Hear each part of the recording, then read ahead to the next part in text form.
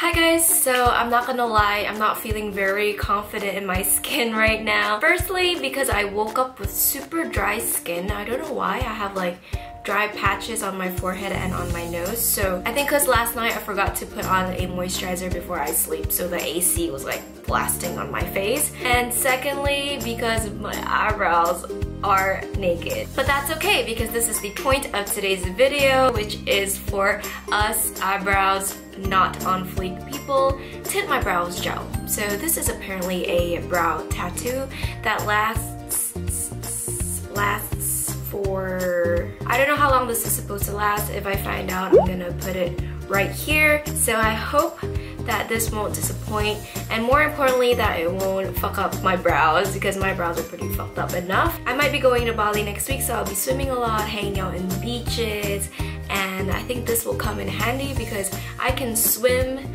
without worrying that my brows are coming off. So yeah. So without much further ado, let's try this out. Okay, I'm gonna start now. By the way, I forgot to tell you guys the most crucial information. I got this from Ginee Up, which is an Instagram online shop. They sell a huge range of Korean makeup products.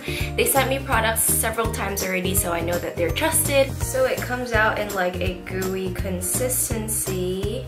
Alright, let's go. Need to apply a liberal amount, it says, so that it's easier to peel off. Oh my god. There are a lot of like strings that sticks to each other, so it's really hard to pull it out of the bottle without like the strings following. Like you know the cheese on a pizza, when you pull out the pizza slice, that cheese follows through. It's like, look at that. That string, that string never breaks. It never breaks.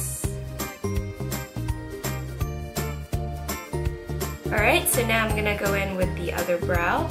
Now this is gonna be difficult to make it both the same, but I'm gonna try. Let's do this. So this brow tint does come in different colors. The color that I have today is gray brown. Should I just should I just stop there? one of them being like Cruella de one of them being like Cara Delevingne.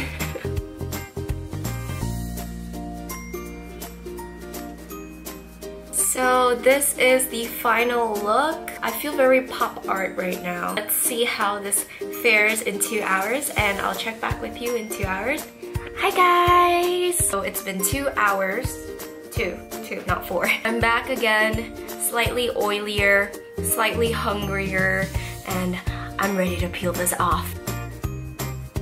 Oh my gosh, you guys, I'm so scared. I think it's a little too dark peeling it off slowly and so far so good. None of my eyebrows are being ripped off. So yeah, this is what we have. It looks pretty natural. It looks like um, how if you had like eyebrow tattoo at a salon, this would be like day one of how it looks a little bit more bold but I'm pretty sure that it will fade after a few days. It'll fade into a prettier gray color. So I'm not gonna lie you guys, I feel a little bit like Camilla Belle right now with the black brows. But the only thing I don't like is the color that I chose. I shouldn't have chose like the darkest color. I'll recommend this to anyone that's like really insecure about their brows. They don't want to go out without their brows. Just put this on as a base for your eyebrow pencil. Also, I would highly recommend this to you guys that is like me going to a tropical island where you're gonna swim and do a lot of outdoor activities because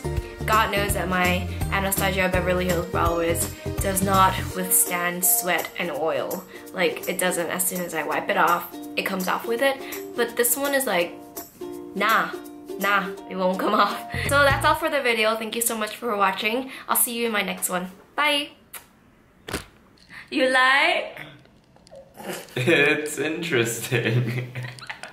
You don't like? Why you don't like?